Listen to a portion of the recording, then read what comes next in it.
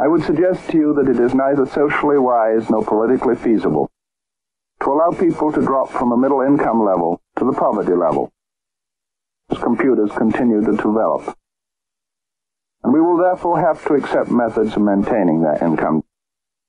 What will be the consequences of new methods of income distribution?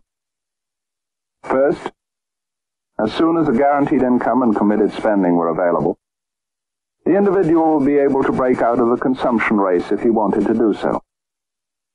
He will be able to say, I opt out because he will be entitled to an income.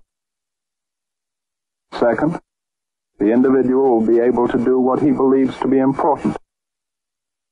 We could thus set free enormous potential energy and imagination to solve our urgent problems. I would suggest a parallel between the introduction of the guaranteed income and the introduction of limited liability in the 19th century. Limited liability allowed the company to take risks. The guaranteed income allows the individual to take risks, to do what he thinks is important, to do what she thinks is important. Third, the guaranteed income would have a major decentralizing effect on society. If the members of a community can obtain resources without having to attract some form of income-producing jobs, they will be able to decide that they want to develop a totally different form of town, city, or village.